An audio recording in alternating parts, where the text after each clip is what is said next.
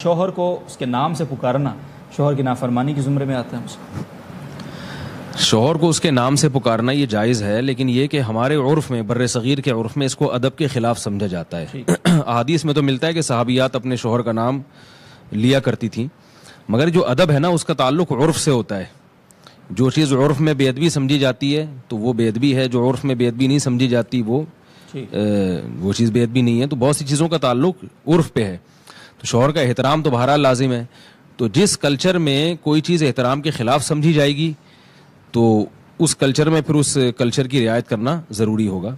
तो हमारे यहाँ बर सग़ीर में ख़ास तौर पर ये उर्दू स्पीकिंग में तो मैंने बहुत देखा है और पठानों में भी कि वो औरतें शोहर का नाम नहीं लेती हैं अदब एहतराम में। तो अच्छी बात है ना लें। लेकिन कोई इसका हलाल और हराम से ताल्लुक़ नहीं। और किसी कौम में ऐसा है कि नाम लेना बेदबी नहीं समझा जाता तो फिर ठीक है नाम ले लिया जाए।